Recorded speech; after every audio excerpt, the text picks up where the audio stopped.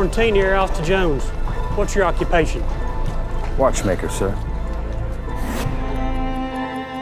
I had this dream.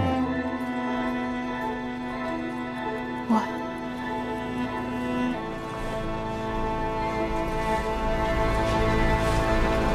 About the future.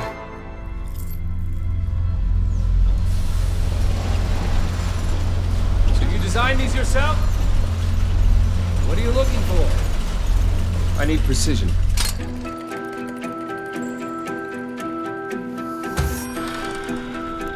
Charles Kidder?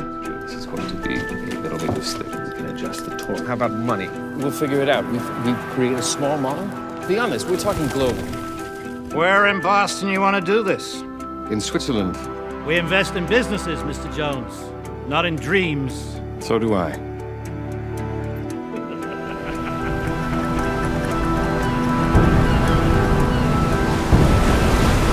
Don't forget to set your watch, Jones.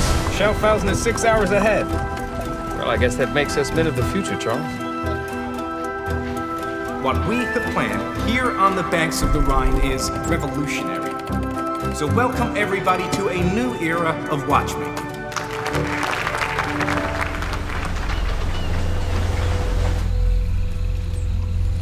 It's beautiful. It's all beautiful. It's everything he wanted. That's an awful lot of watches. It's still not enough, Charles. Just imagine Boston, London, New York.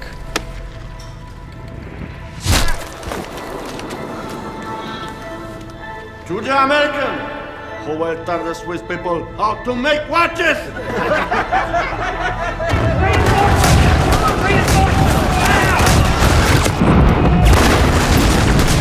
He's going too far too fast.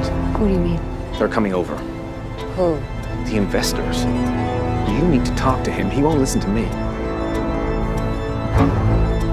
International Watch Company requests additional machines delivered immediately. Same specifications. F.A. Jones, full stop.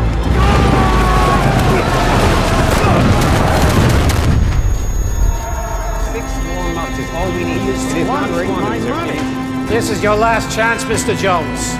Cut your costs, cut production, and get your feet back on the ground. No. Come on, Jones, you got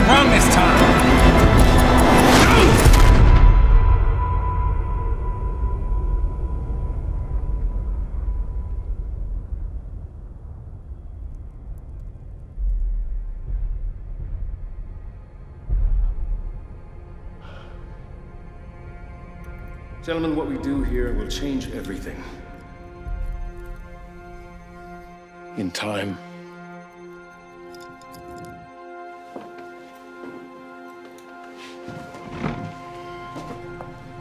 You're done here. Did I dream too big?